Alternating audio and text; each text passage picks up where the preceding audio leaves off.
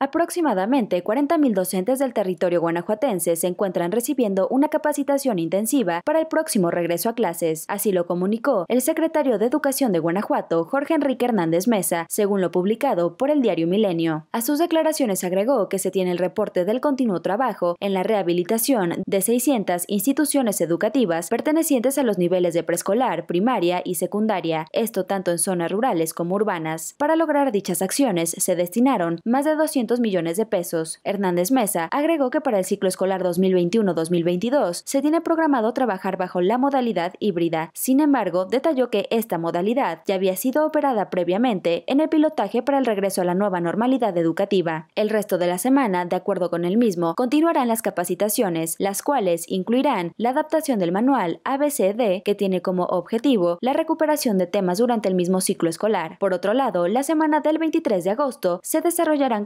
técnicos. En estos se abordará la organización de los aforos, la coordinación y estrategias de atención a los alumnos en distintas modalidades. Es una colaboración múltiple. Tenemos padres de familia, empresarios, el gobierno del estado, los gobiernos municipales. Entre los gobiernos, hemos invertido cerca de 200 millones de pesos en cerca de 600 escuelas. Se ha aventajado de una forma muy importante. Esperemos tener la gran mayoría de las instituciones listas para el día 30. Esas fueron las palabras exactas de Hernández Mesa, quien añadió que a pesar de que algunos centros educativos continuarán a la espera de una rehabilitación, al momento se podría decir que el 99% de los mismos ya cuenta con las condiciones óptimas. Asimismo, comentó que la cifra menos esperanzadora fue del 4% de escuelas que requerían de una reparación inmediata. Respecto a este tema, señaló que la última quincena es la de mayor importancia, y es que en caso de brindarles saneamiento antes de tiempo, implicaría afrontar el peligro de que fueran vandalizadas nuevamente. Informó para Noti 13 del Bajío, Camila Islas.